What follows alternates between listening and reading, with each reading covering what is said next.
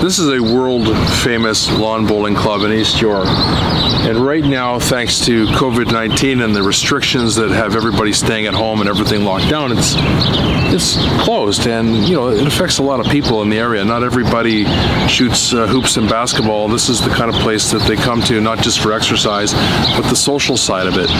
And Councillor Paula Fletcher is concerned about this. It's locked. I could go to a big box store and spend four hours shopping in there with dozens and dozens and dozens of people. But I can't come here and with four other people socially distanced have a game of bowls.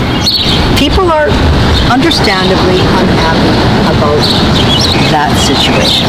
Lawn Bowling Club has sent a press release saying, please, could you reconsider the lawn bowling? I know the city has asked to have certain things reconsidered. Playgrounds are reconsidered right away.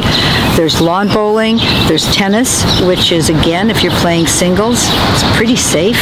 And also, a lot of people have said golf. You're don't go in the same cart, but just stay socially distanced. So I think we do have to review the types of closures that were made under that provincial order. The bottom line for the Premier and the Mayor and other decision makers is to remember that a place like this is pretty important to people. Not everybody can shoot hoops and the like. This is social and it's also exercise. Whether it's volleyball on the beach or playing tennis or lawn bowling, you're likely not going to catch COVID-19, so perhaps it's time to amend things a little bit, as Councillor Fletcher says, and open it again.